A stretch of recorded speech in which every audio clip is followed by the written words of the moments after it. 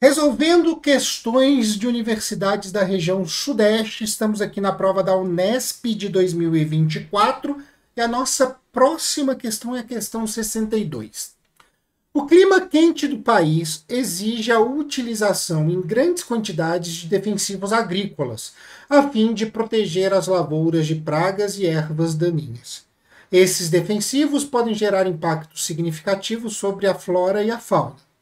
Desde meados dos anos 2000, toda a linha de pesquisa UNE, na Unesp tem procurado investigar o impacto desses defensivos sobre as populações de abelhas, animais que desempenham um trabalho ambiental fundamental para a manutenção de tanto das matas quanto das próprias lavouras. O trabalho ambiental fundamental realizado pelas abelhas, citado no excerto, é a. Aumenta a chance de ocorrer fecundação cruzada em certos vegetais. B. Elimina as pragas agrícolas resistentes aos inseticidas. C. Reduz a, re a necessidade do uso frequente de defensivos agrícolas. D. Impede a autofecundação em plantas que produzem flores. E E. Aumenta a quantidade de insetos resistentes aos inseticidas. Gente, as abelhas são animais polinizadores. O que, que eles fazem? Né? O que, que essas abelhas fazem? Ao buscar o néctar em uma flor, elas se lambuzam com o pólen da flor e, ao migrar para uma outra flor, elas fazem o processo de polinização.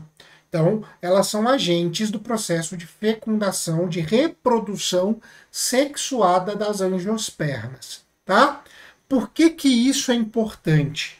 Porque com a fecundação cruzada, com essa troca de material genético entre espécimes diferentes, não espécies, espécimes, indivíduos de uma mesma espécie, tá? Entre espécimes diferentes, eu tenho um aumento da variabilidade genética e isso faz com que eu tenha uma grande possibilidade de boas características serem perpetuadas naquelas gerações.